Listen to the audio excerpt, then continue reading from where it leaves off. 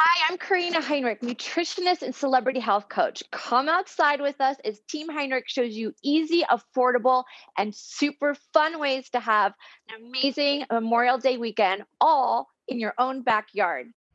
The Memorial Day holiday weekend is the unofficial start of summer. With the kickoff of barbecue season comes more outdoor time. We are joined now by nutritionist and celebrity health coach Karina Heinrich. She's got some eco-friendly and super fun activities for the kids in their backyard bash. Karina, great to see you this Memorial Day weekend. So how can parents best encourage their kids to turn off their phones, iPads, any of their devices, right, and just have some fun in their backyard? Absolutely. The best way to get your kids outside and keep them outside, which is key, is to create a really fun, interactive, lively space with lots of different options. Team Heinrich always loves to put on fun, upbeat music for spontaneous dance parties. It's really easy to set up games of musical chairs, tug of war, three legged races, potato sack races. The classics are attention grabbers because we all love to play them. We know the rules, and most of us know them all already. Yeah, those are classics and certainly very fun. Can you share with us some of your favorite family activities that all age groups can enjoy? Yeah, so I have three kiddos, and hands down, a nature scavenger hunt is a family favorite because all age groups can enjoy it.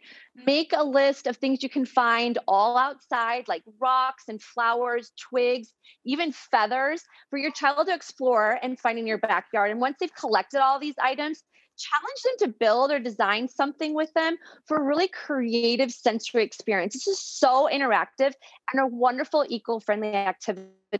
Another family favorite is creating a giant game of tic-tac-toe. You can use these twigs and rocks and even wood to create the board on your lawn. Beforehand, you can have each child paint or color rocks so they know what color they are. This is not only hands-on and creative, but also extremely interactive and it's free.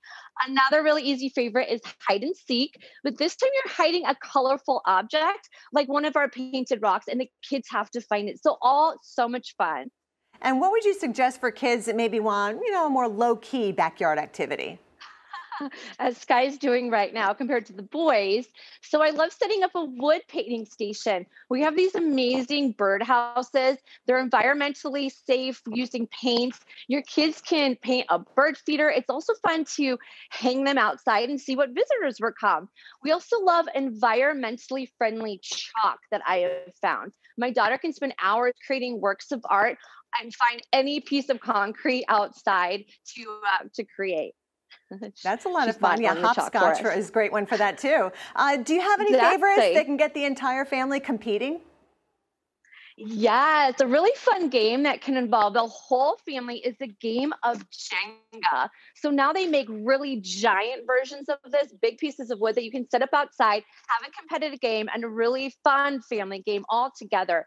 I also love that Twister now offers a bigger mat size so you can lay it outside, involve the entire family. You can even have your kids create their own twister mat using a fabric drop cloth and eco-friendly paints so that you're not using um, a plastic mat. The key is setting up lots of options, have fun, a nice variety to keep your family having a blast the entire Memorial Day weekend. And working on your balancing skills at the same time with Twister, that's for sure.